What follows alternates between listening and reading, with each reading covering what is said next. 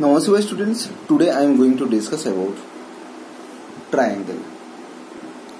So in class 9 we have learned congruence of triangle in details. Recall, two figures are said to be congruent if they have the same shape and the same size. In this chapter we will study about those figures which have the same shape but not necessarily the same size. So here I am taking two circles whose radius are equal. So here all circles with the same radii are congruent. And here I am taking two triangle. ABC is a triangle and PQ are also triangle. So all equilateral triangle with the same side lengths are congruent. Okay. Now consider two circles.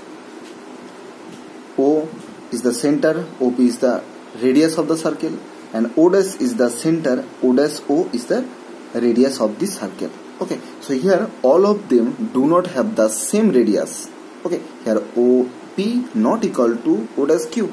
Here OP no, not equal to O dash Q. Okay, all of them have the same shape. They are called similar. So two similar figures have the same shape but two necessarily the same size. So we can say that all congruent figures are similar but the similar figures need not be congruent. So note from two polygons of the same number of sides are similar if their corresponding angles are equal and 2 is their corresponding side are in the same ratio or proportion. So now I am discussing exercise 6.1. Fill in the blanks using the correct word given in the bracket. So all circles are congruent similar. So I am writing similar. Okay, the answer is similar. All dashed triangle are similar. Bracket isosceles and equilateral. So answer is equilateral. Okay. And question number 3 is state whether the following quadrilateral are similar or not.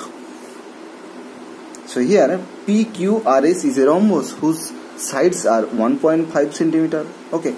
And ABCD is a square whose side is 3 centimeter. Okay. So by the note we can say that not similar as corresponding angles are not equal